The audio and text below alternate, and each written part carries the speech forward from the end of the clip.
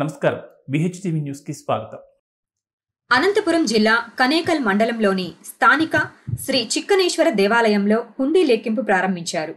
EO Narasimha Reddy ఆలయ ధర్మకర్త ప్రసాద్ రెడ్డి ఆలయ అర్చకులు మరియు గ్రామ ప్రజల సమక్షంలో లెక్కింపు కార్యక్రమం నిర్వహించారు.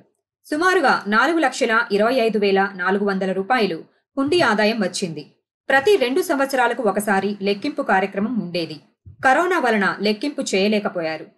కానీ ఈసారి నాలుగు సంవత్సరాలకు లెక్కింపు జరిగిందని ఆలయ ధర్మకర్త తెలిపారు ನಮ್ಮ ಬರಮ್ಮ ಎಲ್ಲ ಒಂದು ಎದಕ್ಕಾಗ್ಬಿಟ್ರೆ ಒಂದು ಸುಲಭ ಆಗೋಗ್ಬಿಡುತ್ತೆ ಅದೇ ಅದೇ ಇನ್ನೂರು ಬೇರೆ ಐನೂರು ಬೇರೆ ಇನ್ನೂರು ಬೇರೆ ಹಾಕು ಸುಲಭ ಆಗ್ತದೆ ಸುಮ್ಮನೆ ಹಾಕ್ಬಿಡಂಗೆ ಏನು ಲೆಕ್ಕ ಹಾಕ್ಬಿಡು ಅದೇನು ಅಲ್ಲ ಸುಮ್ಮನೆ ಜೋಡ್ಸ್ಬೇಡ ಸುಮ್ಮನೆ ಹಾಕ್ಬಿಡು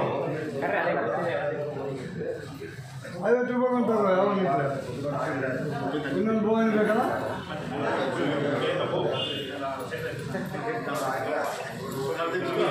ಇನ್ನೊಂದು ಕೆಲಸ ಆ ಬೋಗಣಿ సరిపోతుంది అది యాభై రూపాయలు ఉంటుంది